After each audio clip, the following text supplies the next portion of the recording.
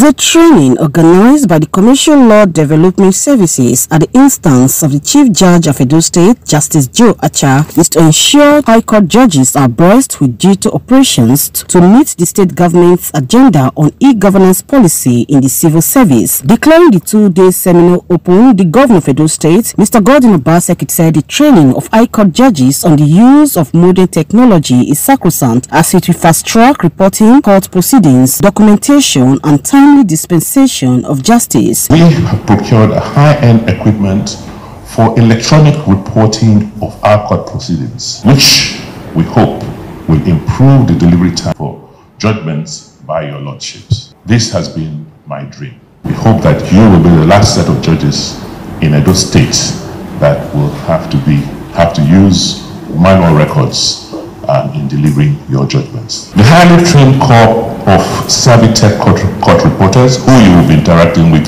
today will reinforce the training that your lordships will be undergoing in the next two days.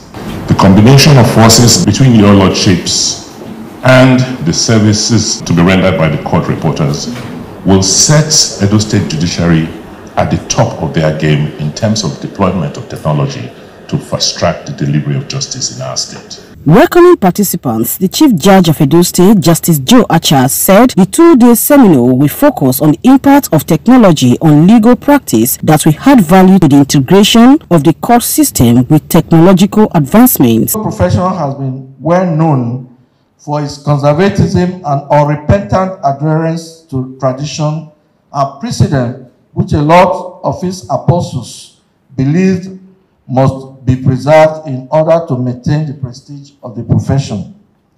The profession and court administration and adjudication were therefore believed to be two of those fields that lose or is antithetical to the use of modern technology.